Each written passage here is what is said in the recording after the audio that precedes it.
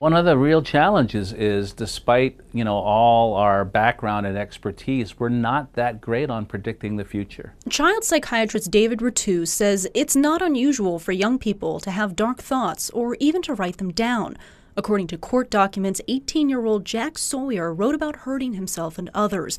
He also kept notes in his journal of an active shooter, listing what guns to buy, how much they'll cost, writing, It's about killing as many people as I can.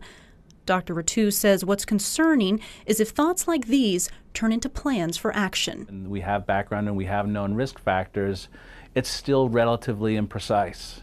And so it can really be difficult because people will surprise us in both directions. People who can look really dangerous may never actually act on those thoughts, and people who had very few warning signs can sometimes do horrific things. Law enforcement is not set up to deal with those mental health issues. But police are the ones responding to school threats. Lieutenant Douglas Allen says police are always judging how bad things are or could become. You work to investigate to see what was behind that, what was behind that threat or behind that statement, behind that action.